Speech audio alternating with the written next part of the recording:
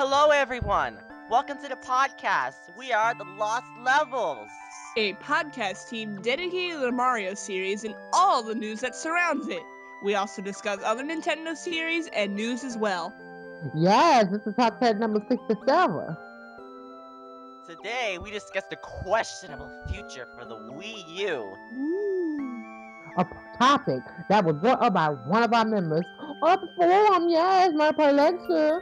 We answer the main question and also examine other people's thoughts as well. This is a very hot topic, so you know we give our own hot answers too. Joining the podcast today, we have me, SpiderStaryu, your juicy and potent buddy, and my co-hosts today are Your favorite fat, fabulous fungus toadette! And Jerry as hell and True Teapot Dark Boo. It's just us New Yorkers. This podcast is very hot. Mmm, girl, yes. Pure juiciness with us. Oh, yes, yes, sir. We are the best. You can watch the podcast by clicking the link in the description or by watching us on iTunes. Thanks for watching. And happy listening. Yes, indeed.